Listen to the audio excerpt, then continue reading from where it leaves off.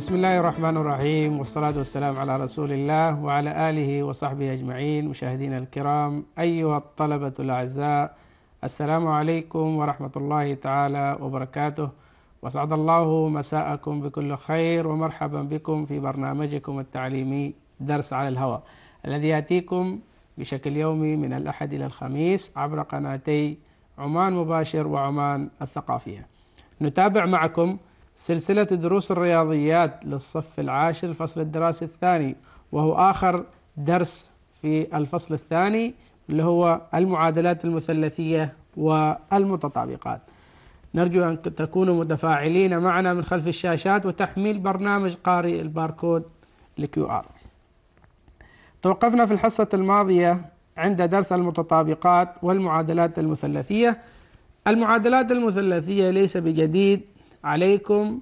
أخذت درس المعادلات من الصف السابع. كانت معادلات من الدرجة الأولى وسميناها معادلات خطية. ثم أخذت معادلات تربيعية أخذت أيضا معادلات جذرية. اليوم راح ناخذ معادلات مثلثية. خطية تمثل بخط مستقيم. تربيعية مرفوع لأس اثنين. جذرية تحتوي على جذر مثلثية اليوم راح تاخذها تحتوي على نسب مثلثية الثلاث اللي أخذتهم جاء والجتا والضاء ومقلوباتهم القتا والقاء والضتاء المعادلة هي عبارة رياضية كتعريف. عبارة رياضية تكون صحيحة لبعض القيم المتغير وغير صحيحة لقيم أخرى. أما القيم التي تكون عندها المعادلة صحيحة تسمى بمجموعة حل المعادلة. هذا المفهوم الرياضي للمعادلة. راح ناخذ تطبيقات وتمارين على إيجاد مجموعة حل المعادلة. لما يقول لك أوجد قيمة س أو أوجد مجموعة الحل هو مطلوب ماذا؟ قيمة المتغير في المعادلة. أيا كان س ها أيا كان مسماه توجد قيمة هذا المتغير. أوجد قيمة س التي تحقق المعادلات الآتية علما بأن س محصورة أو تتراوح ما بين الصفر وثلاثمائة وستين درجة. المعادلة الأولى واحد ناقص ضاء س يساوي صفر. واحد ناقص ضاء يساوي ضاء س يساوي صفر. أنقل مثل ما تعلمنا في درس المعادلة بنقل أو بوضع الأعداد في طرف والمتغير في طرف آخر وعملية النقل تغير الإشارة. فلما أنقل السالب دائما أنقل السالب فيصبح عندي ضاء س إذا نقلت سالب ضاء س في الطرف الثاني فتصبح عندي ضاء س فتصبح عندي ماذا؟ ضاء س تساوي واحد. الواحد كانت في الطرف الأيمن. نقلت ماذا؟ السالب ضاء س في الطرف الثاني فأصبحت س تساوي. أنا تعلمت كيف أجيب ماذا؟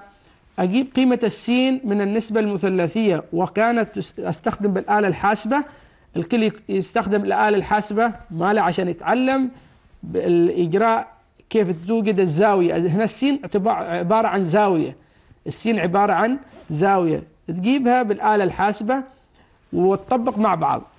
كيف تجيبها بالآلة الحاسبة؟ المطلوب هنا قيمة س اللي هي تمثل آه الزاوية. تساوي الشيفت تضغط على زر شيفت بالآلة الحاسبة. بعدين تضغط على تان اللي هو يرمز إلى الرمز ضاء بين قوسين واحد. ويساوي لو شفت سويت shift tan الكل يسوي بالآلة الحاسبة. الزاوية واحد أو الرقم واحد يساوي shift tan shift tan واحد سكر القوس يساوي خمسة وأربعين. تساوي خمسة وأربعين. هذه قيمة السين للنسبة المثلثية ظا وأنا أعرف سابقا من دائرة الوحدة عرفت بأن ماذا أيضا؟ أن الضاء تكون موجبة في أي ربع أي طلاب العاشر تكون موجبة في الربع سمينا هذا الربع الأول وهذا الربع الثاني وهذا الربع الثالث وهذا الربع الرابع والزوايا معروفة من تبدأ من الصفر تسعين درجة 180 270 وترجع مرة ثانية دورة كاملة عند 360 الضاء موجبة وين؟ موجبة في الربع آه موجبة في الربع الأول وموجبة في الربع الثالث موجبة في الربع الأول وموجبة في الربع الثالث كيف أجيب الربع الثالث؟ عرفنا أيضا هناك ملاحظة قلنا بأن في الربع الثالث تساوي ماذا؟ 180 زائد الزاوية زائد الزاوية فيصبح عندي إذا بما أن بما أن الضاء موجبة في الربع الأول والثالث إذا السين الأولى في الربع الأول 45 والسين الثانية تساوي ماذا؟ 45 أو 180 180 زائد 45 يساوي 180 زائد 45 يعطيك ماذا؟ 225 درجة. إذا مجموعة الحل تساوي الزاوية 45 والزاوية 225 درجة. هذا فيما يخص المثال الأول كيف توجد قيمة الضاء س أو توجد قيمة المتغير س واضح؟ نشوف المثال الثاني. أوجد مجموعة حل المعادلات الآتية أو التالية علما بأن س محصورة ما بين صفر و 360 للمقدار أو المعادلة 2 جتا س ناقص جذر ثلاثة هذا قوس مضروب في جاء س يساوي صفر. عندك مقدارين مضروبات ببعض يساوي صفر. قوسين مضروبات ببعض يساوي صفر. فهذا معناته إيش؟ مثل ما تعلمتوا في الصف التاسع. إما إما القوس الأول اثنين جتا س ناقص جذر ثلاثة يساوي صفر. أو أو ماذا؟ أو القوس الثاني جاء س يساوي صفر. إما أن المقدار الأول هو اللي يساوي صفر مضروب في عدد أو أن الأول هو صفر والثاني عدد أو الثاني عدد والأول صفر. مقدارين مضروبات ببعض يساوي صفر فإما الأول يساوي صفر أو الثاني يساوي صفر. هذا فيما تعلمناه في الصف التاسع. أصبحت عندك معادلة عادية الزيادة فيها بس النسبة المثلثية. هذا الدرس من الدروس المهمة عندك في الرياضيات صف عاشر ودائما يدخل في الاختبار. تنقل فإذا أقول ماذا؟ اثنين يتا س ناقص جذر ثلاثة يساوي صفر تنقل الجذر الثلاثة في الطرف الثاني. دائما تحاول الأولوية في النقل السالب. فيصبح عندي اثنين جتا س يساوي جذر ثلاثة. أنا أبغى قيمة الجتا فهذا يودي إلى أن نقسم على اثنين. اثنين تروح مع الاثنين. ف جتا س تساوي جذر ثلاثة على اثنين. جذر ثلاثة على اثنين. الآن أنا أبغى قيمة السين. السين تجيبها بالآلة الحاسبة. خليك شغال على الآلة الحاسبة. قيمة السين تساوي.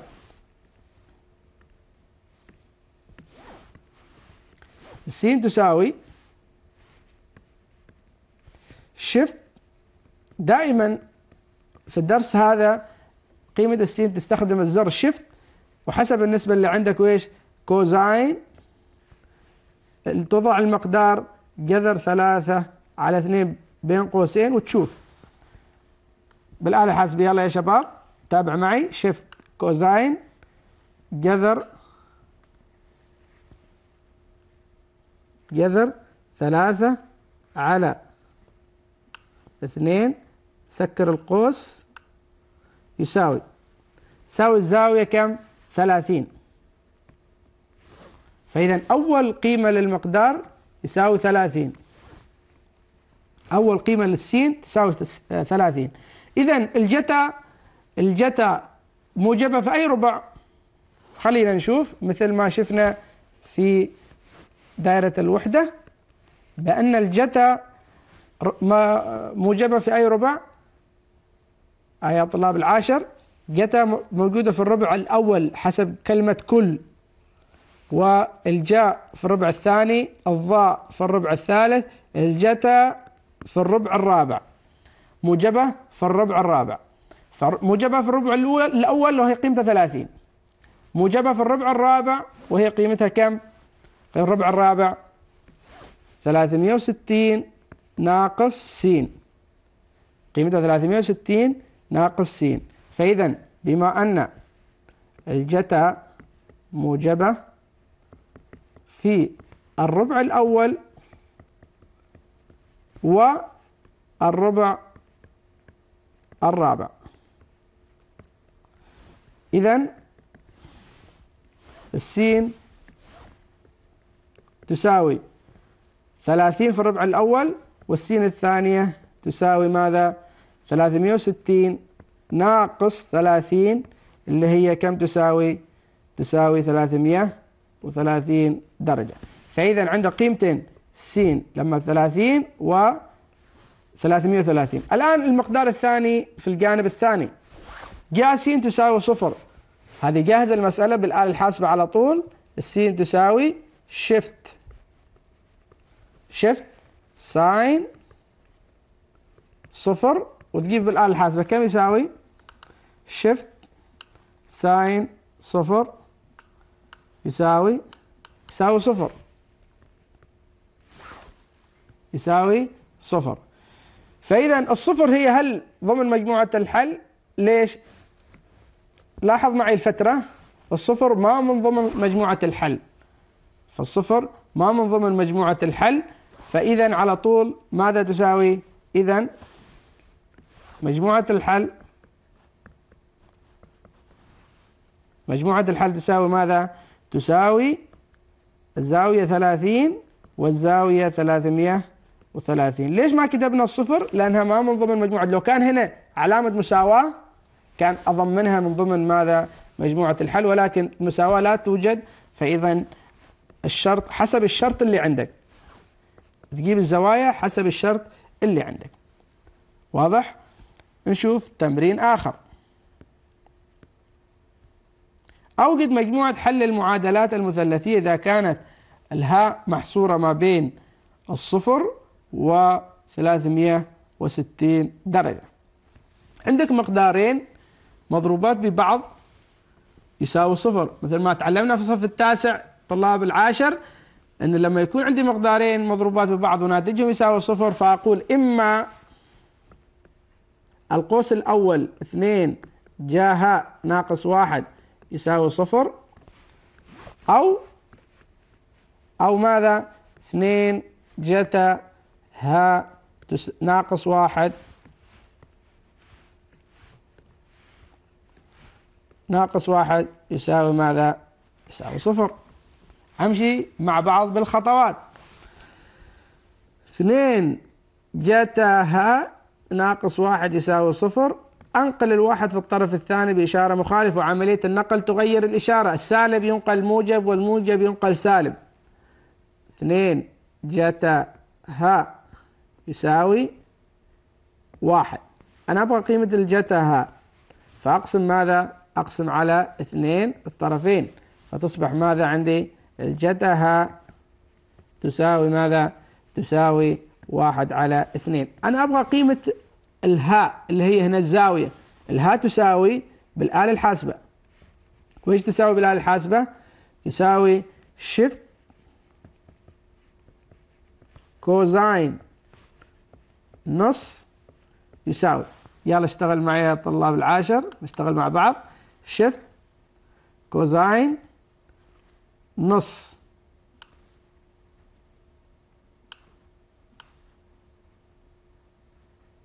سكر القوس يساوي ماذا؟ يساوي ستين. إذن الها تساوي ماذا؟ ستين. هذا الزاوية الأولى. عرفنا بأن بأن ماذا؟ بأن حسب دائرة الوحدة بأن الكوزاين موجودة في وين؟ في الربع الأول حسب كلمة كل وموجودة في أيضا موجبة في الربع ماذا؟ الثاني الرابع. في الربع الرابع. هنا الربع الثاني الجاء والربع الثالث ضاء. فالربع الرابع كيف نجيب الزاوية؟ 360 ناقص ها. فإذا بما أن بما أن الجتا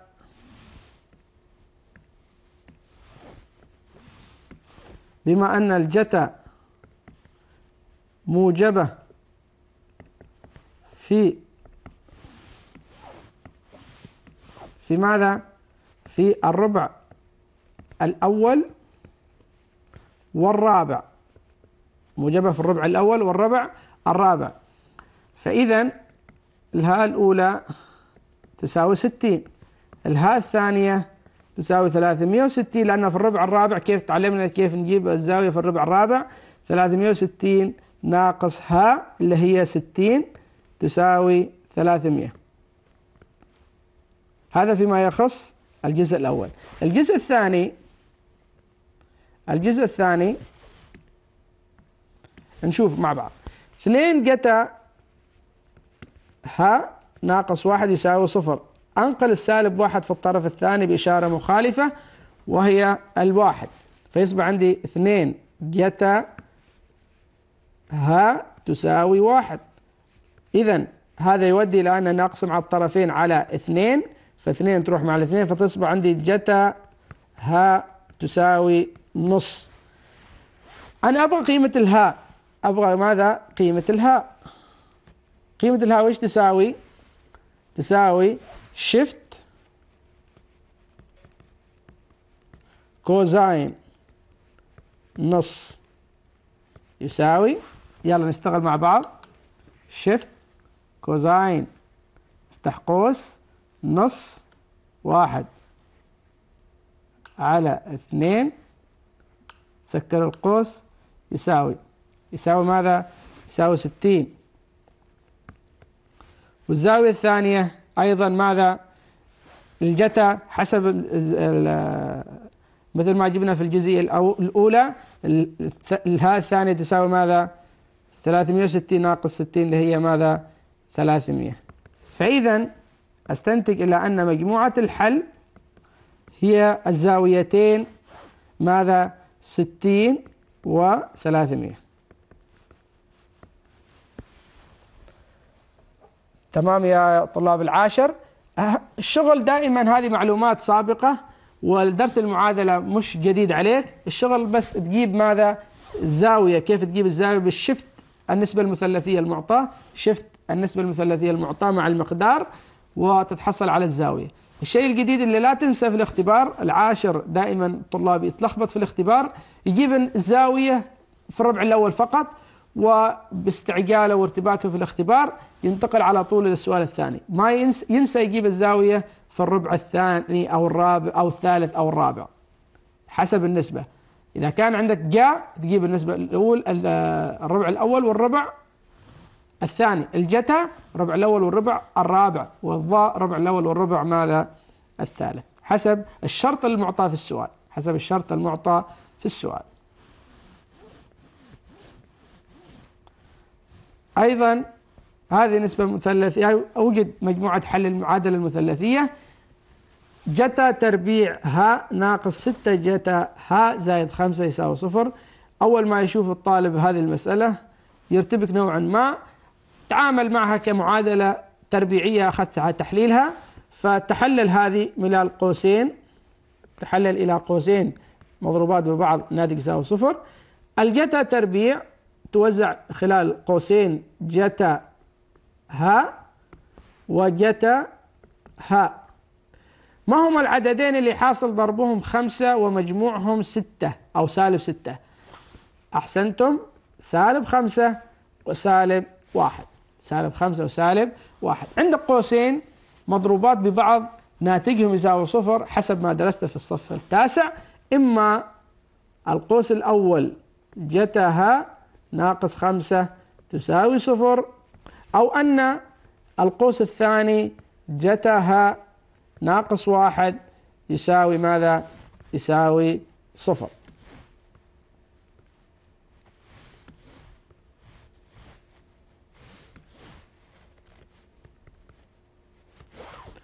الآن تمسك كل مقدار وتحلل على حدة. جتاها تنقل الخمسة في الطرف الثاني بإشارة مخالفة فتصبح ماذا؟ تصبح عندي الجتاها يساوي خمسة. لو جيت بالآلة الحاسبة وتبغى قيمة الهاء الزاوية الآن shift ماذا؟ cosine اللي هو الجتا يساوي خمسة يساوي صفر. لاح تلاحظ إن هنا القيمة ماذا؟ قيمة غير معرفة غير معرفة لو سوي بالآلة الحاسبة وتأكد. قيمة غير معرفة ليش؟ لأن المدى للدالة جتا آه، في رسم بياني أكبرها موجب واحد وأقل شيء سالب واحد. فهذا راح تعرفوه في الحادي عشر بإذن الله صف الحادي عشر لما تاخذ الرياضيات البحتة وترسم دوال الجتا والجا فهنا راح تعطيك ماذا؟ قيمة غير معرفة. نتأكد. shift cosine للرقم خمسة يساوي shift cosine خمسة يعطيك ماذا؟ غير معرفة. يعطيك غير معرفة.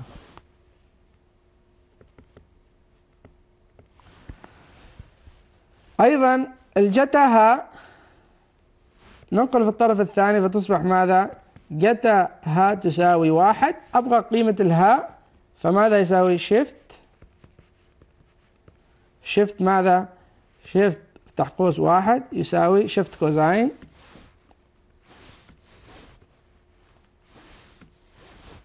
shift cosine واحد يساوي.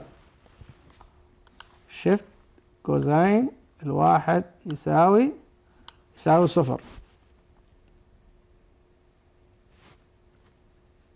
لاحظ معي هنا الشرط.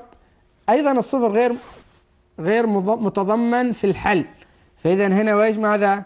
الصفر هذه أيضا لا تنتمي إلى الحل. فاذا مجموعة الحل مالها phi. مجموعة الحل هنا ويش phi. لأن الصفر هنا ليس من ضمن مجموعة الحل. واضح؟ نشوف الجزئيه الثانية في الدرس هذا المتطابقات والمتطابقة يحتاج إلى نوع ما إلى التركيز ويحتاج إلى استحضار المعلومات السابقة اللي أخذناها في هذه الوحدة وراح نتطرق معها مع بعض لهذه المعلومات. المتطابقة كتعريف هي عبارة رياضية صحيحة لجميع قيم المتغير. عكس المعادلة. المعادلة كانت صحيحة لبعض القيم وغير صحيحة لقيم أخرى. بينما المتطابقة صحيحة لجميع قيم المتغير الحقيقية. صحيحة لجميع قيم المتغير الحقيقية. هذا هو الفرق ما بين المعادلة والمتطابقة. وحل المتطابقة دائما تبدأ من الاتجاه الأيمن وتوصل الأيسر أو العكس تبدأ من الأيسر وتوصل الأيمن ولكن دائما تبدأ بالأجزاء السهلة تبدأ من الطرف السهل. قبل لا نتطرق إلى تمارين على المتطابقات لابد أن تستحضر معك في هذا الدرس مجموعة من المعلومات اللي أخذتها في هذه الوحدة. أول معلومة أخذتها كان عندك ماذا؟ جتا تربيعها زائد جاء تربيعها. كم كان قيمته؟ أحسنتم يساوي واحد. القانون الثاني اللي عرفته في هذه الوحدة أيضا بأن قاها يساوي ماذا؟ واحد على جتها. وكذلك أخذت أيضا بأن قتها رقم ثلاثة قتها يساوي ماذا؟ واحد على الجاهة. هذه معلومات أخذتوها في الصف في, في هذه الوحدة. المعلومة الرابعة أيضا بأن ضتها تساوي واحد على ضها وكذلك أخذت من هذه راح أستنتج قانون آخر من هذه العبارة. وتقول بأنه إيش؟ بأن لو نقلت الجتا في الطرف الثاني فتصبح ماذا؟ القانون الخامس. فتصبح أن آه، الجاء تربيعها يساوي أنقل الجتا في الطرف الثاني. فتصبح واحد ناقص جتا تربيع. ها راح أسوي العكس. أنقل الجاء. أنقل الجاء. فتصبح ماذا عندي؟ قانون السادس.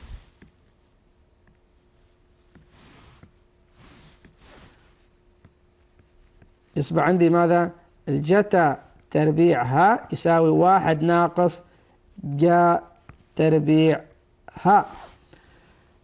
تمام؟ آه الضتها الضاها أيضا القانون السابع أو المعلومة السابعة أن الضاها دائما عوض عنه بويش بجاها على جتا ها والمعلومة الثامنة أيضا أن الضتها عكس الضاها.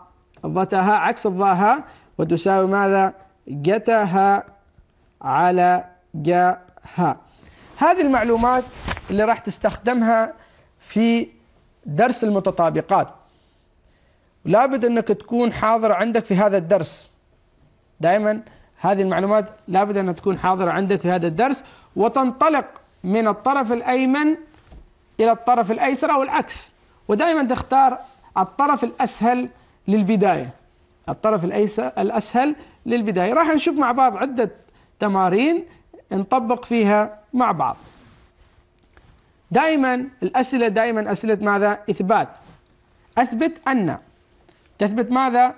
تثبت أن ضاها مضروبة في قتاها يساوي قاها. راح انطلق من الطرف الأيمن. راح انطلق من الطرف الأيمن. فأبدأ الطرف الأيمن يساوي ضاها قتاها. الضاها راح أعوض عنها بماذا؟ بهذا المقدار اللي هو الجاها على جتها. يساوي جاها على جتها. وأشوف أشوف ماذا سأحصل. مضروب هذا بينهم ضرب. لما يكون ما بينهم إشارة جمع أو طرح معناته بينهم إشارة ماذا؟ ضرب. قتها القتا ماذا؟ مقلوب ماذا؟ مقلوب الجاء هذه المعلومة. القتها مقلوب ماذا؟ الجاء في واحد على جاءها وش ألاحظ؟ ألاحظ أن في اختصارات راح أختصرها. تختصر ماذا؟ لو ضربت مقدارين ببعض راح أختصر الجاها مع الجاها في المقام. جاها اللي في البسط مع جاها اللي في المقام. فتصبح عندي ماذا؟ يصبح عندي في البسط واحد على جتها هذا المقدار واحد على جتها لو جيت في المعلومات اللي درستها لو عرضناها قبل شوي راح تلاحظها إنها تساوي ماذا؟ تساوي تساوي ماذا؟ قاها. هذا المقدار. إن واحد على جتها بتساوي ماذا؟ بتساوي قاها. وقاها لو لاحظت إن ماذا يساوي الطرف الأيسر؟ فتوصلنا إلى الطرف الأيسر انتهت المسألة. إذا توصلت إذا بديت من الطرف الأيمن وحصلت إن الناتج اللي جالس تشتغل على عليه يساوي الطرف الأيسر انتهت المسألة. فأنت انطلقت من الطرف الأيمن وتحصلت على الطرف الأيسر اذا اثبتت إن الطرف الأيمن يساوي الطرف الأيسر وكذا انتهت المسألة. مثل ما قلت تستخدم الثمان المعلومات اللي كتبتهم قبل المثال هذا وتعوض وتجري عمليات حسابية ضرب توحيد مقامات جمع طرح تتحصل بإذن الله على آه، الطرف الأيسر. نشوف مع بعض. أثبت صحة ما يلي.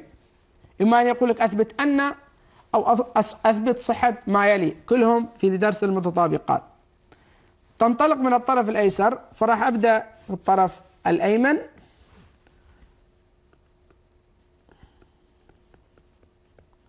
الطرف الأيمن يساوي ماذا؟ يساوي ضاء س زائد واحد على ضاء س يساوي دائما الطرف الذي يحتوي على إشارة جمع وطرح هو الأسهل يعتبر.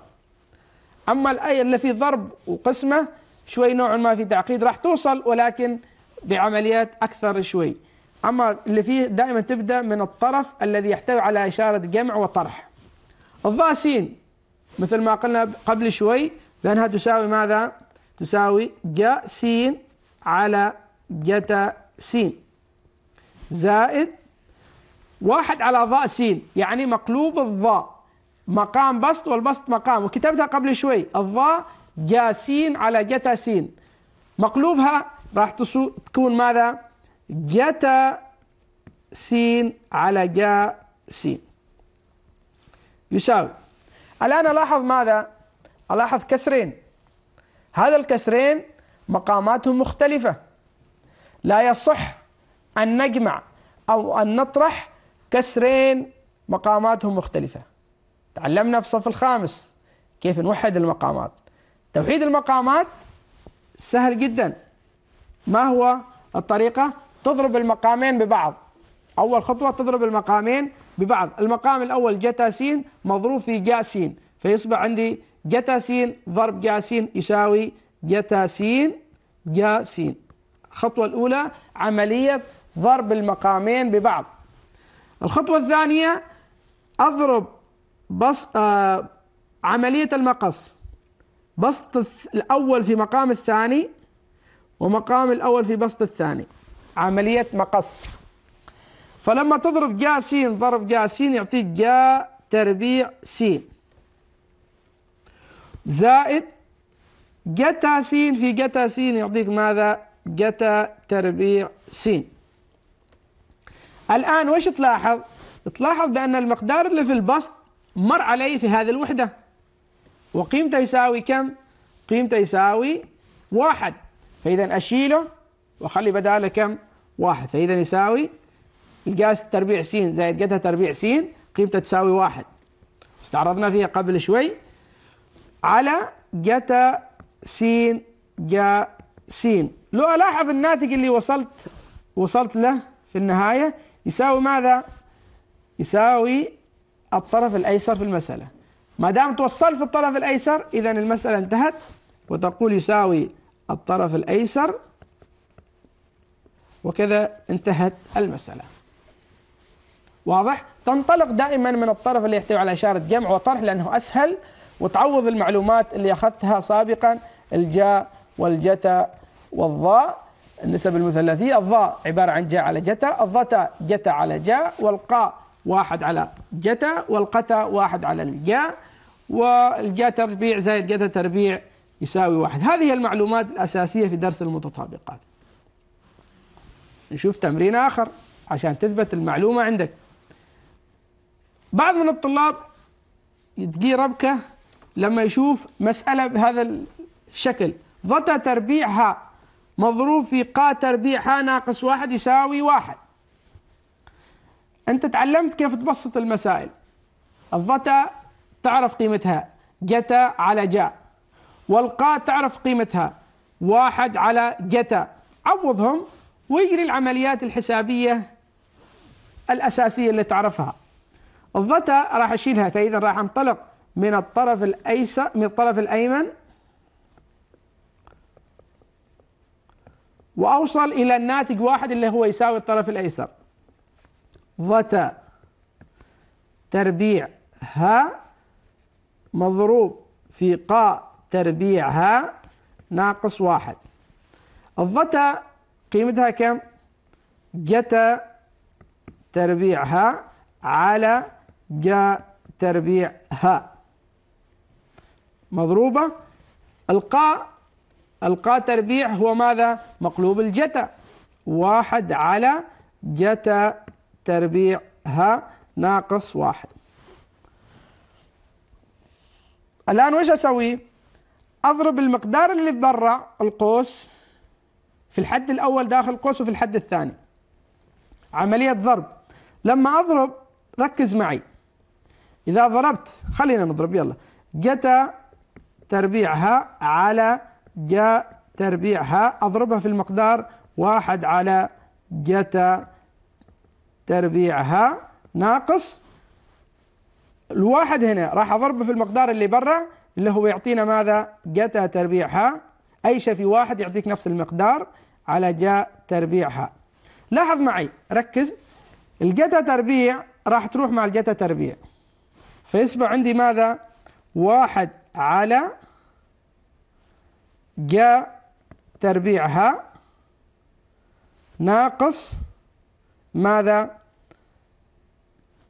ناقص آه، جتا تربيعها على جاء تربيعها. مركزين معي.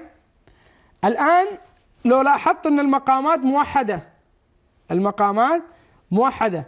جاء تربيع المقام الأول جاء تربيعها والمقام الثاني جاء تربيعها. فراح أجري عملية الطرح على نفس المقام اللي هو جاء تربيعها. جاء تربيعها. الآن أطرح. واحد ناقص. جتا تربيعها. واحد ناقص جتا تربيعها أخذناه قبل شوي واحد ناقص جتا تربيعها يساوي ماذا؟ يساوي جاء تربيعها من وين؟ خلينا نستذكر من العلاقة جاء تربيعها زائد جتا تربيعها يساوي واحد فلو نقلنا لو نقلنا الجتا في الطرف الثاني فتصبح جاء تربيعها يساوي واحد ناقص جتا تربيعها هذه أخذناها قبل شوي. أشيلها وخلي بدالها ماذا؟ الجاء تربيعها. جاء تربيعها على جاء تربيعها. جاء تربيعها على جاء على جاء تربيعها يبقى لك ماذا؟ تروح يبقى لك ماذا؟ واحد ويساوي الطرف الأيسر. ويساوي الطرف الأيسر. خطوات أهم شيء تعوض أو تكون عندك حاضرة المعلومات اللي قرناها قبل شوي. نشوف هذه أثبت صحة المتطابقة. ضاها زائد ضتها يساوي قاها مضروبة في قتها. هذا الدرس من الدروس المهمة وراح تدخل عندكم الاختبار النهائي. راح تدخل عندك في الاختبار النهائي. راح ننطلق من الطرف الأيمن.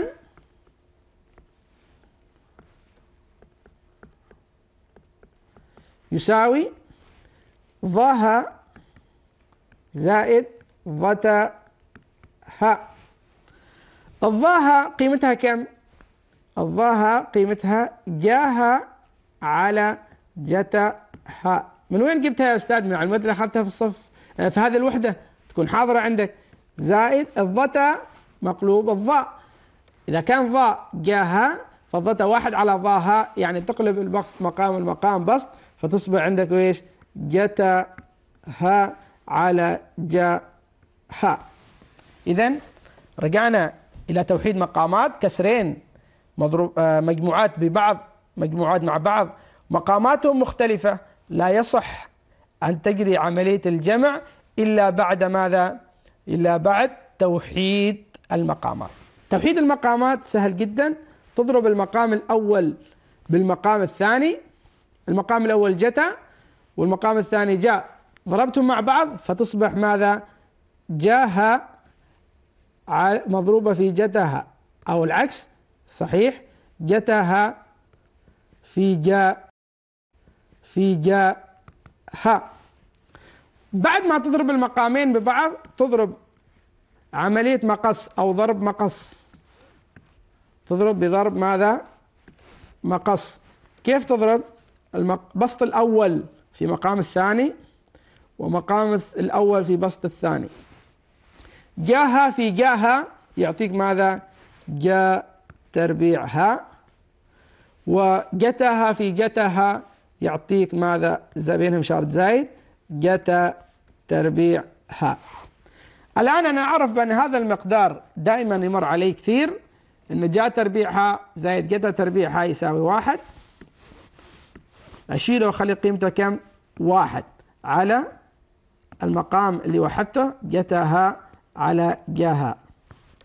هذا لو جيت وبسطته أكثر فعبارة عن ماذا؟ عبارة عن واحد على جتا ها مضروب في واحد على جاها. وهذا المقدار جاها أو واحد على جتاها يساوي قاها وواحد على جاها يساوي ماذا؟ قتاها فإذا لو لاحظت بأن هذا المقدار يساوي الطرف الأيسر في المسألة ما دام توصلت إلى الطرف الأيسر فإذا حلك صحيح وتقول ماذا يساوي الطرف الأيسر؟ وكذا انتهت المسألة. واضح يا طلاب؟ العاشر هذا فيما يخص ماذا؟ فيما يخص درس المتطابقات. الآن راح أعرض عندكم مسألة تفاعلية تتفاعلوا معنا في الحصة. عن طريق قارئ الباركود. الكل يصور هذا الباركود. واللي يدخل على السؤال راح يحصل صفحة فاضية ينتظر بس ننتظر زملائكم يدخلوا. بعد ذلك راح نرسل السؤال. اللي يوصل إلى الصفحة ينتظر. اللي يوصل إلى الصفحة ينتظر. ما يستعجل عشان نرسل السؤال. يكون وصل للجميع. يلا ثلاثين ثانية ثم راح انتقل أو راح أرسل السؤال. اللي يدخل راح يحصل صفحة فاضية بس ينتظر لا يستعجل. ينتظر لا يستعجل. راح أرسل السؤال. يلا ثلاثين ثانية. أيوة في طلاب وصلوا.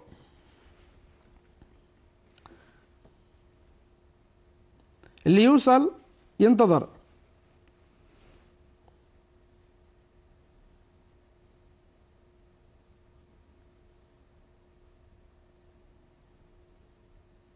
هذا وصلوا جنان المعمري ومنار وداود الهناي رغد زينب العريمي الريان فدوى. يلا اللي يوصل ينتظر بس. اذا كذا راح أرسل السؤال.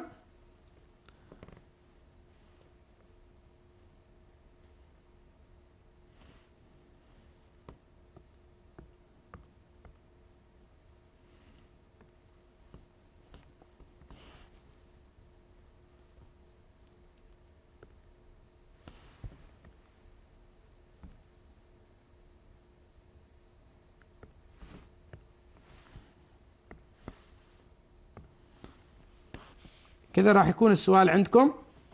أيوه. كذا وصل. يلا يا طلاب يا شو أريد أشوف حلكم.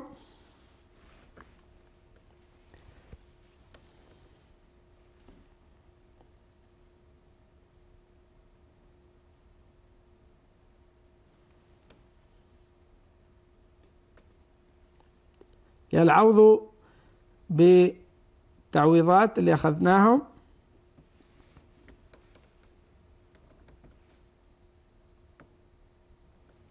اللي ما وصلت عند الصفحة يسوي تحديث. يسوي تحديث.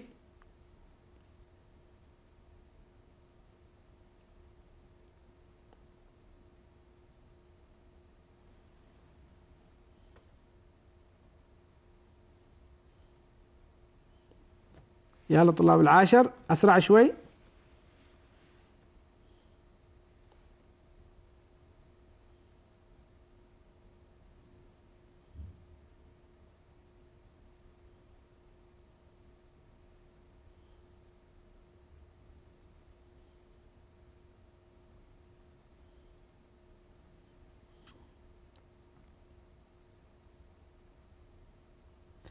اللي ما وصل عنده السؤال آه، يرجع يحمل يسوي تحميل أو ماذا؟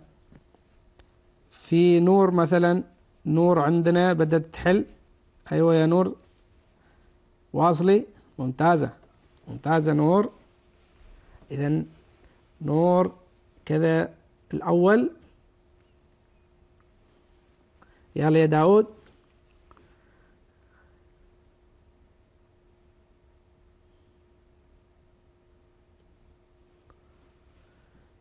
أحسنت يا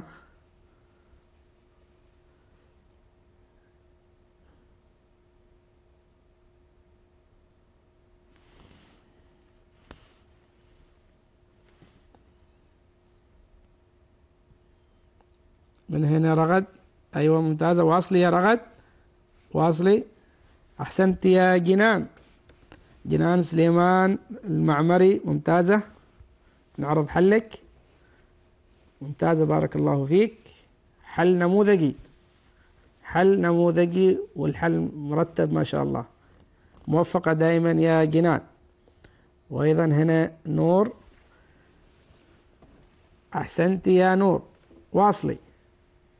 واصلي ممتازة.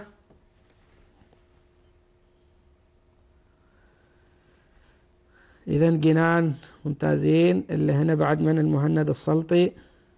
واصل. هنا منار. هذه حلة أحسنتي. أحسنتي يا منار حلك صحيح. هنا فدوى. بدأت بالسؤال الثاني. ممتازة. حلك صحيح.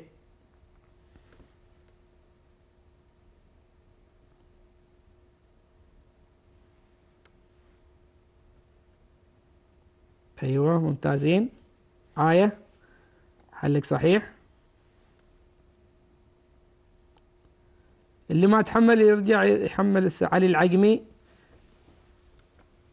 راجع حلك يا علي. تفك القوس على طول. فك القوس مثل ما تعود فوق قوس الكل تربيع. ممتازة يا نور سليمان مغيزوي. يلا نرجع نحل مع بعض. من هذا باسل. مش كذا يا باسل؟ نرجع نحل السؤال مع بعض. نشوف. أثبت صحة المتطابقة الجذر التربيعي لجاء ها جاء ألف زائد أو مضروب في جتا ألف مضروب في ضاء ألف يساوي جاء ألف. قال لك أثبت أن الطرف الأيمن يساوي الطرف الأيسر. فراح تبدأ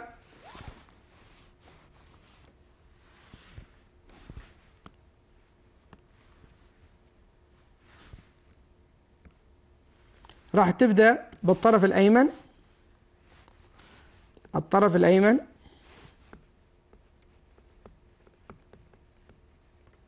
يساوي الجذر التربيعي لجاء ألف في جتا ألف. ما أقدر أبسط إلا الضاء. الضاء يساوي ماذا؟ جاء ألف على جتا ألف. ألاحظ أن الجتا ألف راح تروح مع الجتا ألف فيبقى لي ماذا؟ الجاء ألف مضروبة في جاء ألف. يساوي الجذر التربيعي لجاء ألف تربيع. التربيع يروح مع الجذر فيبقى لك جاء ألف اللي هو ماذا؟ يساوي الطرف ماذا؟ الأيسر. يساوي الطرف الأيسر. هذا الحل الأول. الحل الثاني حل سهل جدا إنك تبدأ من الطرف الأيمن. يساوي تفك الأقواس. قوس الكل تربيع فيساوي ماذا؟ مربع الأول. الأول جاء مربعه جاء تربيع س نفس إشارة القوس. إشارته موجب فإذا موجب. الأول في الثاني في اثنين. الأول جاسين الثاني جتاسين مضروب في اثنين فيصبح عندي اثنين جاسين جتاسين اثنين جاسين جتاسين زائد مربع الأخير أو الربع الثاني. الثاني جتا تربيع سين. مربعه جتا تربيع سين ألاحظ إيش؟ ألاحظ أن هذا جاسين وزائد جتا سين تساوي كم قيمتهم؟ تساوي قيمتهم واحد. إذا ألاحظ أن جا سين زائد جتا سين تساوي واحد. إذا أشيلهم وخلي بدالهم واحد. واحد زائد البقرة وإيش تبقى؟ تبقى اثنين جا سين جتا سين وتساوي ماذا؟ الطرف الأيسر. تساوي الطرف الأيسر. ما دام توصلت إلى مقدار يساوي الطرف الأيسر إذا انتهت عندك المسألة. وبكذا وصلت إلى الحل. كذا وصلت إلى الحل. إلى هنا وصلنا إلى نهاية درسنا لهذا اليوم. عسى على أمل اللقاء بكم في دروس أخرى ونتمنى لكم التوفيق وإلى اللقاء.